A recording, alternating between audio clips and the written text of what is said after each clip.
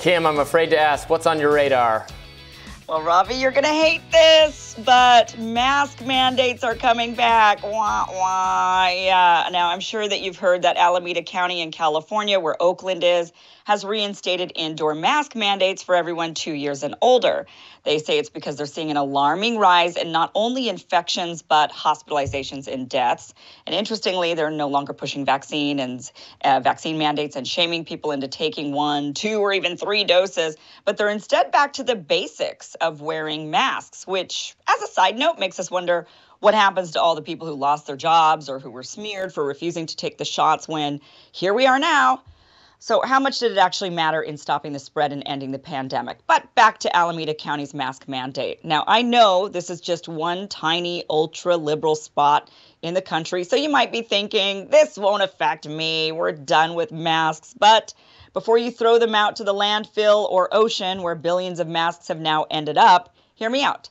For millions of us in this country, especially those of us living in big cities, which are typically blue, even in red states, you might find yourself covering your nose and mouth once again very soon. Take, take uh, St. Louis, for example. Though the government isn't mandating masks, businesses and tourist attractions are. So you want to visit the arch, you need to wear a mask, and other private businesses are requiring them as well. So the reason it's the same one Alameda County states that cases are rising at an alarming rate. Now, Alameda County's press release breaking the news of the mask rules stated daily reported COVID 19 cases have exceeded the peak of last summer's Delta wave and are now approaching levels seen during the winter 2020 21 wave at comparable lab reported testing levels. Reported cases are an underestimate of the total due to home testing and unidentified infections. Okay, and that's fair enough on that last point because I think most people test at home and then never report their positive test to officials. But if they're sitting at home sick with COVID, what does it honestly matter? Throughout the entire beginning months of the pandemic, what justified the lockdowns and masks in the spring of 2020 was to flatten the curve in order to not overwhelm hospitals. We heard these phrases over and over.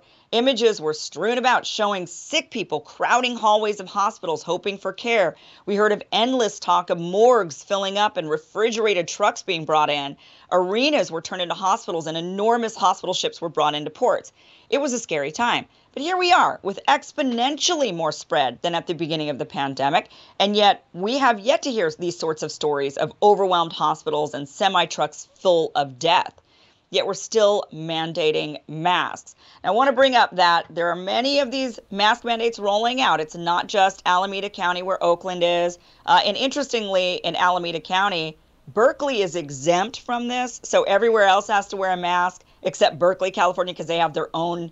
They're they're in some sort of um, health bubble where they're where they're exempt for whatever legal reasons. But other places are rolling them out now, like Sacramento Public Schools. They came back and said everyone's got to wear masks. Uh, some universities are bringing them that back. So, you know, Robby, what I'm really interested in hearing from you about is, as the libertarian in the group, now I know that you're very against, as I am, government mask mandates, but private businesses are now coming out, like in St. Louis, and they're implementing mask mandates. And I would imagine that if a bunch of businesses, if there was a high level of community spread, a bunch of businesses might say, okay, it's time to start putting masks on. Everyone's got to wear a mask if they want to come to my business. And other businesses around them feel almost shamed or guilted or pressured into following suit. Or maybe they just think, yeah, I guess that's the right thing to do.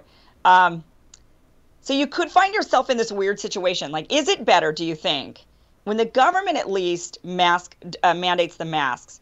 Like if I go to Alameda County, right? I know now I'm going to have to wear a mask and carry it, carry it everywhere with me and put it on everywhere I go indoors. But if I go to St. Louis, for example, I don't know, right? One business might say you have to wear a mask, one might say you don't. So you're constantly like checking everywhere, every time you walk inside of a building. Which would you rather do? Uh, I, the, the latter. I mean, I don't want to wear a mask, period. I'm not going to go into a business that requires me to wear a mask at this point, uh, unless I have no other choice, I guess. I don't want to wear a mask. And I think that's what most people are. But look, if you have a uniquely like there's a there's a there was a hyper liberal kind of grocery store near here, you know, locally, I don't know how locally owned it is, whatever it is, that's very progressive. And yeah, they had a mask requirement in place even when the city in DC was no longer requiring it. I just stopped going there. That's fine that we, we have to you know we have to learn to get along. If you want a hyper masked experience, then you can segregate yourself into you know uh, businesses, organizations that cater to your insane antisocial insecurity. I don't want to be a part of it, so I, I would still rather let individuals, uh, individuals and businesses decide than have it required at the level of because when it's required at the level of government, I mean they're requiring it past what what the will of the people is clearly because when the mask mandate gets lifted, then overwhelmingly, like 99% of businesses then say, okay, you don't have to wear it anymore. Sometimes they're not enforcing right. it, even though right. the government is telling them they have to enforce it because they don't want to enforce it. Well, and one one thing is this was kind of trending last weekend, um, and even I got affected by this. Was you know the airlines are canceling a lot of flights and having Correct. to shift flights around, and uh, and last week even when I flew home to Boise, my flight there was canceled, and I got rerouted onto a different flight, and I had to do a layover, and it was really you know it was inconvenient. Where same thing, I'm I'm getting married here in just a few days.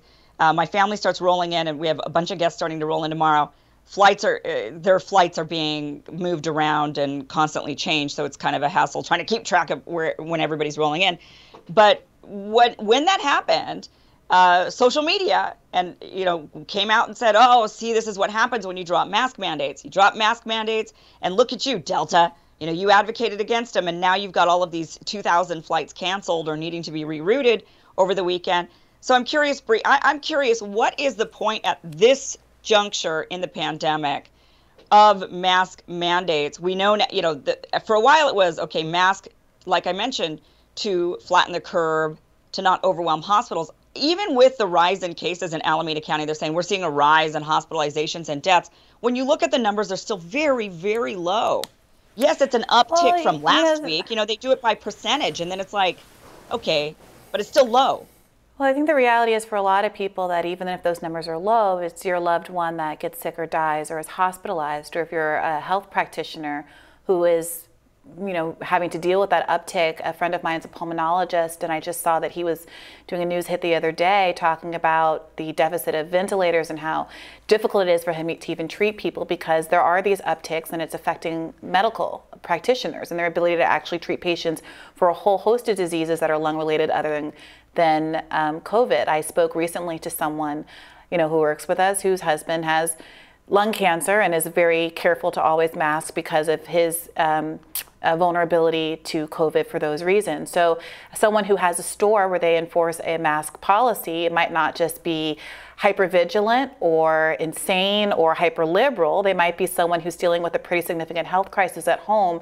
Cancer is one of the top, if not the top killer of people in certain age groups in America. And I think that it's incumbent on us at the same time that we deal with the frustrations of having some inconsistencies in these policies in the United States, that we also keep in mind that people are dealing with really real health issues outside of COVID that, of course, can be exacerbated by them.